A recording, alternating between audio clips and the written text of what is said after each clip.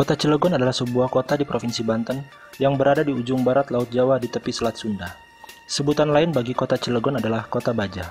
Mengingat kota ini merupakan penghasil baja terbesar di Asia Tenggara, sekitar 6 juta ton baja dihasilkan tiap tahunnya di kawasan industri Krakatau Steel.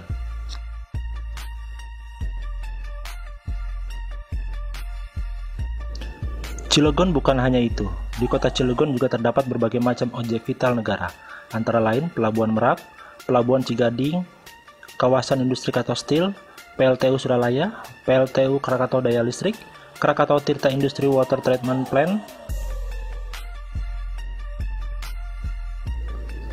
Dengan APBD hampir 2 triliun dan pendapatan asli daerah mendekati 1 triliun, terdapat perempuan di atas meja birokrasi, yaitu Sekretaris Daerah Hajah Sari Suryati.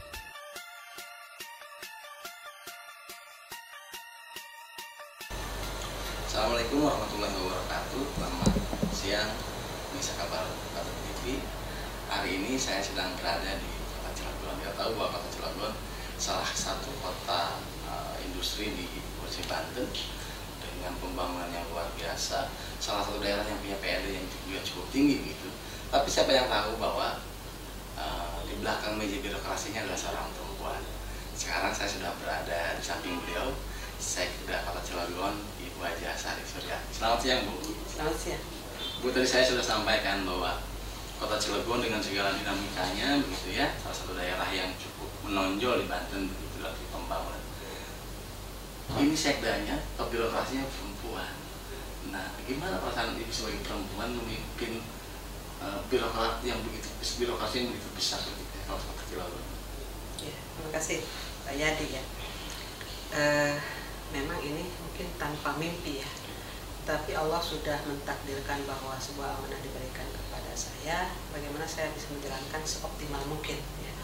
Jadi sesuai dengan kapasitas dan kemampuan saya mencoba untuk mau belajar terhadap baik teman-teman maupun rekan OPD dan ini yang paling berat bagi kami adalah mungkin seorang perempuan yang kalau dilihat rata-rata kan laki-laki tetapi karena ini sudah menjadi tanggung jawab saya pada prinsip adalah siap untuk bekerja dengan sebaik-baik itu, itu yang yang selama ini menjadi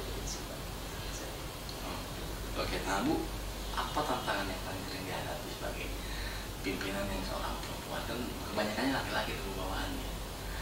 Apa tuh tantangannya? Ada kendala atau gimana? Uh, sebetulnya kendala yang sangat prinsipal nggak ada ya. Cuman mungkin kalau ada sebuah pertemuan di malam hari, kalau berkumpul dengan para ulama, para tokoh masyarakat, kadang-kadang dibilang kikuk tidak juga ya, karena saya harus profesional dan proporsional. Tetapi saya harus bisa mengukur diri bahwa mungkin tidak bisa seperti laki-laki ada sebuah keleluasaan hanya itu aja sih. Kalau dari sisi pekerjaan nggak ada masalah, nggak ada masalah. Ibu kan berangkat dari bawah gitu ya, hmm. sekarang sudah menjadi sekda tentu uh, ada banyak catatan sebagai apa seorang pegawai gitu ya.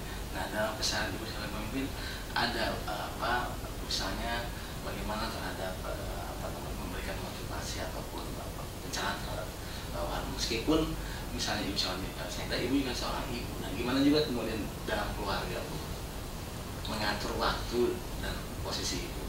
Oke, yang paling utama dalam pekerjaan mungkin kita nanti tulus ya.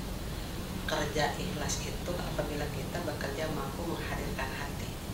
Sehingga bekerja itu tidak pernah lelah, tidak pernah bosan dan selalu ada ide dan gagasan. Itu yang yang yang paling utama. Karena kita bekerja dengan ikhlas, dengan hati sehingga apa pun yang kita hadapi pernah ada permasalahan yang sangat berat Kemudian terkait dengan keluarga, prinsip anak-anak sudah paham betul dengan status seorang ibunya bahwa seperti itu dan mereka paham betul saya harus bekerja memposisikan saya sebagai pekerja di mana, saya memposisikan selaku ibu di mana. Sehingga kalau di rumah ya menjadi ibu rumah tangga lah yang baik. Kalau di kantor ya harus menjadi pekerja yang baik itu aja. Oh. Gitu, ya. Oke Bu, ini mungkin uh, apa sedikit agak serius ini. Uh, ibu apa namanya mengalami dua kepemimpinan gitu ya walaupun dalam periode yang sama e, kemarin Pak Iman ataupun sekarang Pak sekarang saya lihat dalam masa-masa krusialnya gitu ya. Bagaimana ibu kemudian mengatur ritme e, dengan pemimpin yang tentu laki-laki gitu ya, perempuan termasuk menghadapi dinamika yang begitu ya. Ada hobi khusus atau apa gitu untuk mengalihkannya ya pada prinsip ini bahwa kedua pemimpin yang barusan Iman maupun Pak Edi walaupun saya selaku staf ya tetapi mungkin posisi saya karena usia ya saya selaku kadang-kadang menjadi orang tua mungkin tetapi yang paling utama bagi bagi saya beliau ini adalah ya pemimpin ya orang tua yang guru bagi saya. Sehingga kedua-duanya baik Pak Iman baik Pak Edi sebetulnya mempunyai visioner orangnya visioner ke depan. Sehingga saya selaku staf di bawahnya bagaimana kita harus mampu mengimbangi dengan sebaik-baiknya. Jadi eh, prinsip kalau saya ada kehidupannya dalam arti bahwa saya mencoba untuk profesional. Pada waktu saya dibutuhkan selaku uh, staf saya akan bicara staf tetapi pada saatnya mungkin karena saya dari usia mungkin lebih tinggi kalau dibandingkan Pak Iman mungkin saya seperti kadang-kadang orang tua juga.